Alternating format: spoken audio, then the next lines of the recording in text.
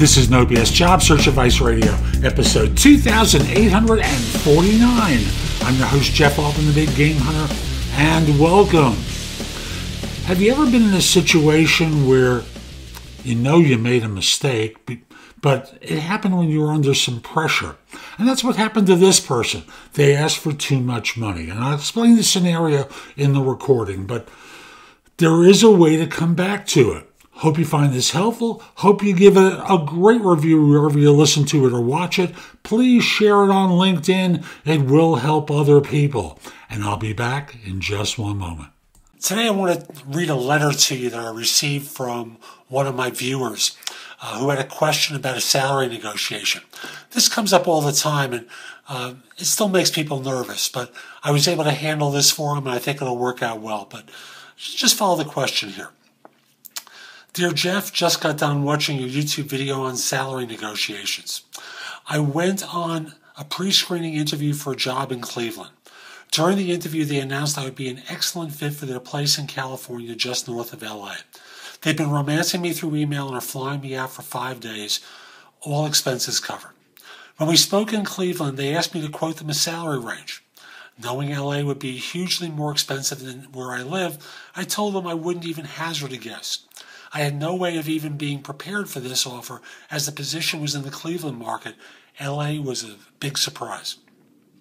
So they badgered me and I threw out a range completely ignorant of what the market really was like in LA. I've had two weeks to do my research. I found out my numbers were way off mark. Is it too late to cry ignorance given the LA opportunity was a complete surprise?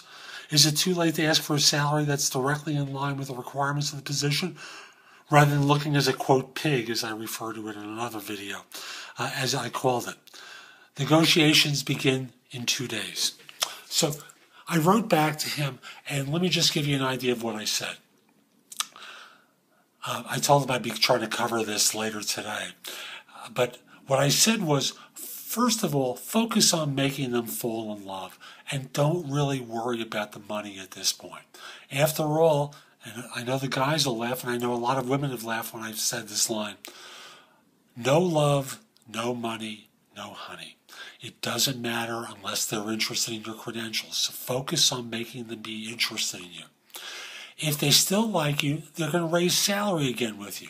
So be calm and with a smile on your face, simply say, At the time you were asked uh, the first time, you were a guy, you know, in the Midwest without a clue about the job market in California. You kept saying you didn't know, but they insisted, so you gave them a number. And then you continue by saying, I have a better idea now of my value, and hopefully so do you. And then you smile. When they ask you what that value is, offer them a range that works for you. Don't worry about their salary ranges. Focus on what works for you. Check about paid relocation, benefits, all the other ancillaries in there as well. Remember, living and working in California will be more expensive than you anticipate. So recognize they're going to be interested for a reason and give them a confirmation of that, uh, of that thinking with a great performance on your interview. So that's today's show. I hope you found it helpful. And if you did, here are a couple of ways I can help you even more. First of all, connect with me on LinkedIn at linkedin.com forward slash IN forward slash the big game hunter. Mention that you listen to or watch the show. I like knowing I'm helping some people. Also, join me at jobsearch.community. Now, whether you become an insider or not, there's a lot of stuff on the homepage to help you books, guides, video courses, videos some good stuff to help you. And if you become an insider, you get access to all my video courses, books, and guides, and you can ask me questions, and I log in daily to respond to everyone. If you become an Insider Plus member, all the same stuff I've mentioned to you before, plus you can get me on a Zoom call to answer your questions more immediately.